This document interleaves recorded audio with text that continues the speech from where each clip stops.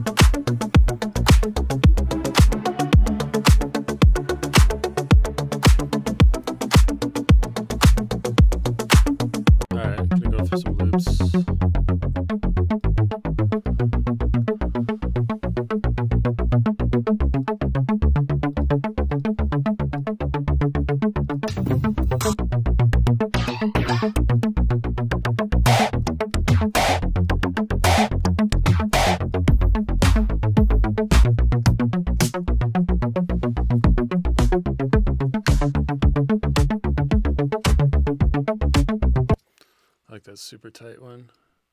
So a lot of the loops in there are like super stripped down and simple like this. I just find that like a lot of loop packs have super complicated drums in them, and I find these to be more useful sometimes.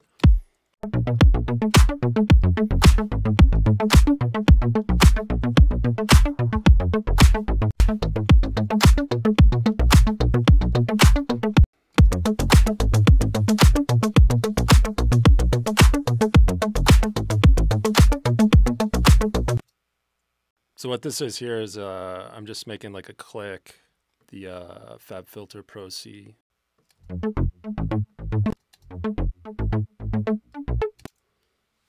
If you guys want to use, if you already have this plugin, you want to use it for sidechain, just screenshot this because this is like the perfect setting. And what I like about this too is you can control the signal coming in. So like if I crank this, yeah, you start getting like a really deep kind of sidechain.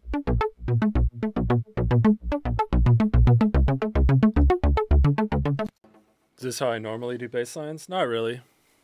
Some a lot of times I'll just play them in and then like I'll just jam over something for like five minutes or something and kind of take the best bits and clean it up, you know. So what I might do is just switch over to my monitors for a bit, just so I can get this like sounding correct.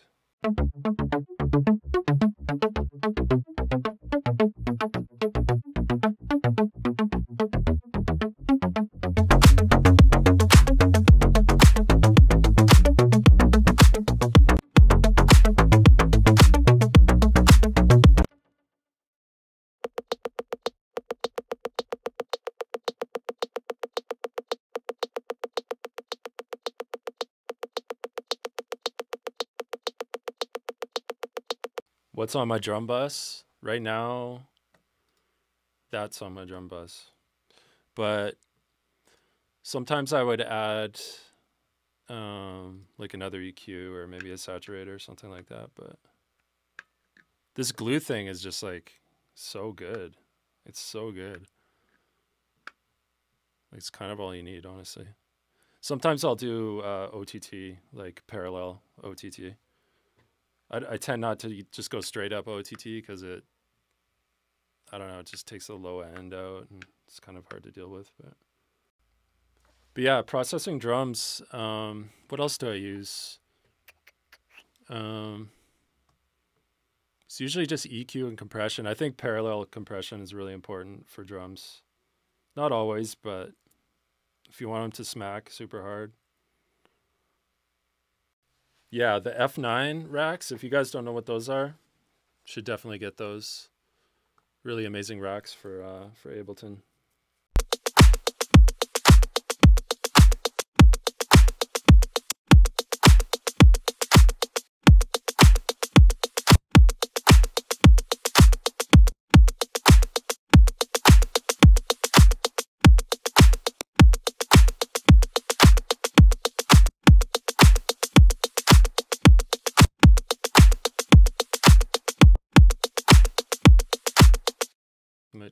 Like a polysynth.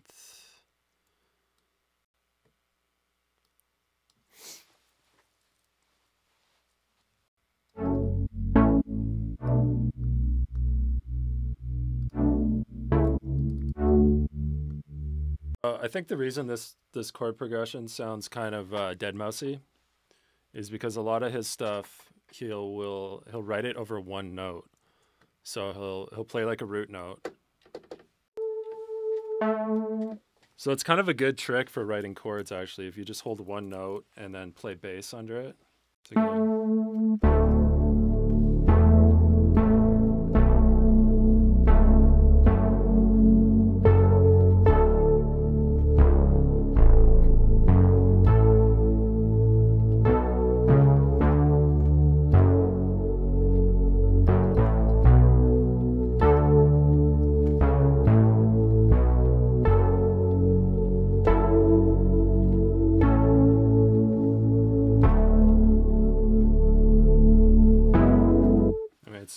It kind of works for everything.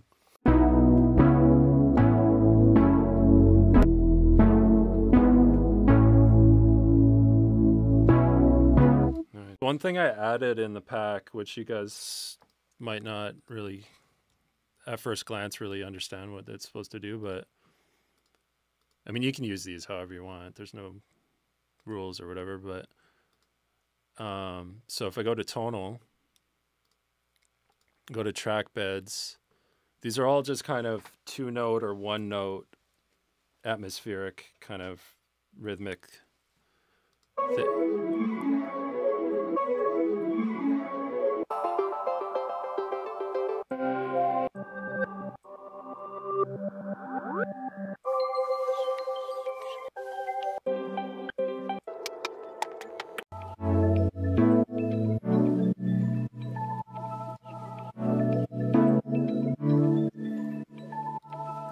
So they, I don't know, they work really cool just for like filling in space in the mix a little bit. You can just tuck them in there and they kind of sound nice.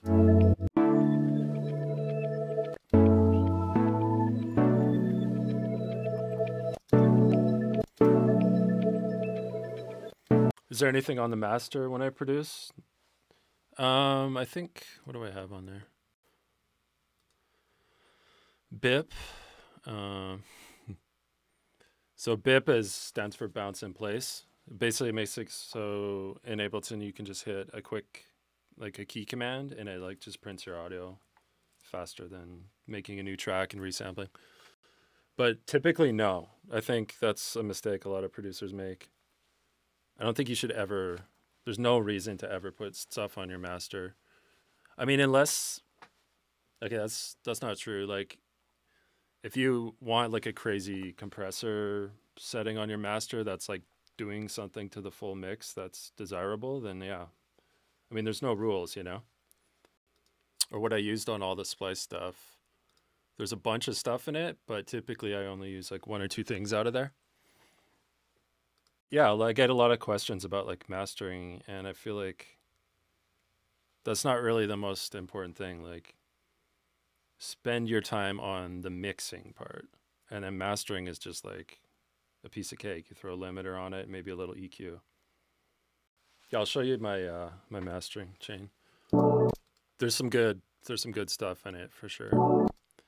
But don't ever use your mastering as a crutch. Like your mixing should be as far as sonics, that should be your number one priority. I spent years on being obsessed with mixing and stuff. So I guess I kind of take it for granted now, but I spent so much time on that stuff. And I think part of it is just knowing that there's no end to it. Like you can always, always get better. Which for me took like years and years and years, and I'm still learning all the time. Let me show you the mastering chain, the big secret mastering chain. All right, so here's my mastering chain.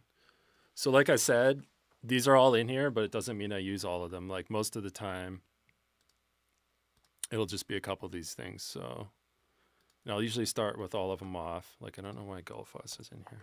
Get rid of that. Oh, so this is this is the chain I use for all the splice stuff. So there's a couple weird ones like Soothe, which you would never normally put on a master. It just kind of mellows out harsh frequencies. So if you're working on a drum loop or or something like that that has some weird resonant sounds in it, can get rid of that pretty smoothly. This actually is like my favorite thing right now. This Shope, it's called. Um, it doesn't do anything special. It just shows the waveform after the master, which I find to be really helpful. Because you can kind of see like, okay, that's a pretty good waveform, you know? I love this uh, this imager in, in Ozone too. I think it's great. A lot of times I'll take the sub stuff and just mono it, which you could also do with utility. It's probably like the better way to do it, but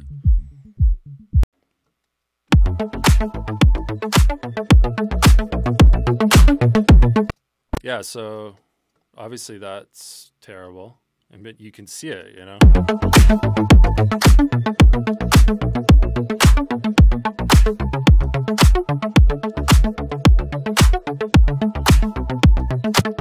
Still love this thing. It's been out for like a hundred years, but something something about it just sounds great. Reviver, this one's really, really good too.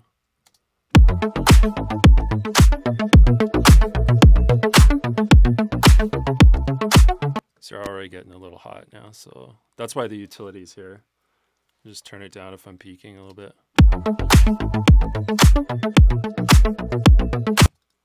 And I'll use OTT on the master too. I'm not scared, you know? Some people probably frown upon that, but I think if you use it sparingly and tastefully, then you're you're good to go. It kind of goes with anything, you know.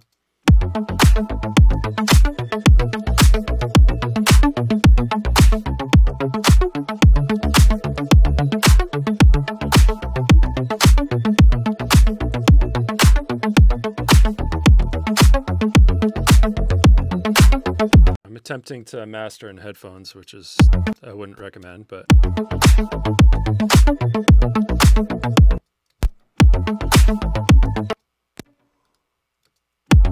yeah, that's pretty much it. The best thing you can do with a kick drum is just pick the right kick kick for the job, you know? I don't like I used to spend so much time on kick drums. I would just layer them and have like five or six kick drums all stacked and it's just a waste of time. Like just start with something that sounds great right out of the box and then unless you're one of those like techno dudes who that's like your whole track is a kick drum, then yeah, spend an hour on a kick drum. But there's so many like go to Splice, there's like a million amazing sounding kick drums on there for pretty much every job you're ever gonna need. New favorite plugin. Uh, let me see. Massive, Sylenth, Diva, like those are the kind of my go-tos for bass stuff. Lossy's cool for lo-fi stuff. This, yeah, that one's really fun. Probably the Valhalla delay, honestly. I mean, you can do so much cool stuff with that, and it's forty dollars. It's like you can't go wrong, you know. Which tape stop? Um, I believe this is the Kilohearts one. Super basic. I love this thing though. So cool.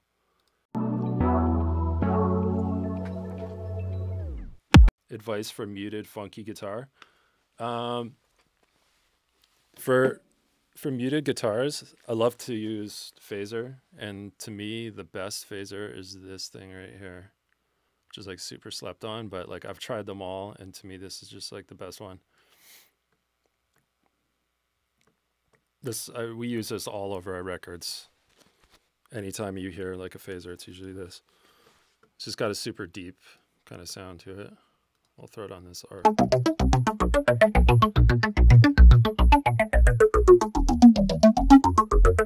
Like that's nothing sounds like that. That's the best one. Air makes that. Guess I should be talking about the pack a little bit more, but you guys already know what's up. Splice.com, Power Tools, Volume 2. Go check it out. I think there's uh, hopefully there's something for everybody in this pack. I, I tried to make it as diverse as I was capable of. Love you guys. Thanks so much for joining me. I have um, I have my own Twitch account, which is We Are Oliver TV. Um, so maybe I'll do another stream sometime on there, just when I'm noodling around making something.